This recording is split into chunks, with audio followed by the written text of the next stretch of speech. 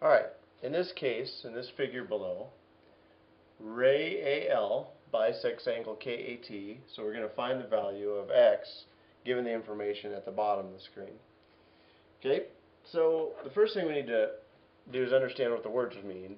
This AL bisecting KAT, angle KAT, is uh, right here's AL, and all that means, the bisect means it's a cutter. AL is going to cut angle KAT into two equal pieces. So there's my two equal pieces. Those angles are going to be the same, no matter what. And down below it gives us that KAL is 7x plus 3. So this is 7x plus 3. And LAT is 6x plus 7. Okay, so there, there's the given information. Since we know those are both equal, we know that 7x plus 3 is going to equal 6x plus 7. We can set up the algebraic equation. Okay, once it's set up, then it's just a matter of solving it, like you've done so many times before. And so x plus 3 equals 7, because those cancel. Then I'm going to subtract the 3, and x equals 4. So we've done what the problem asks.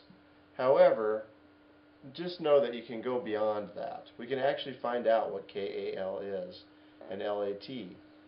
So if you wanted to know KAL um, or LAT, you just plug the 4 in for x. So 6 times 4 plus 7. Well, 6 times 4 is 24 plus 7, 31.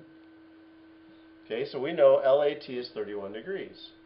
So this is 31 degrees. So we also know then that KAL is 31 degrees because AL is a bisector.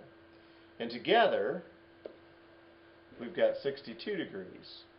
So you could then find this angle, which is 180 minus the 62 degrees, since the whole line's 180 degrees, and that's that's 7 118 degrees. So just know you can go in and find more than what they're asking. But uh, be ready to do all those types of problems. Hope this helps. Good luck with your assignment.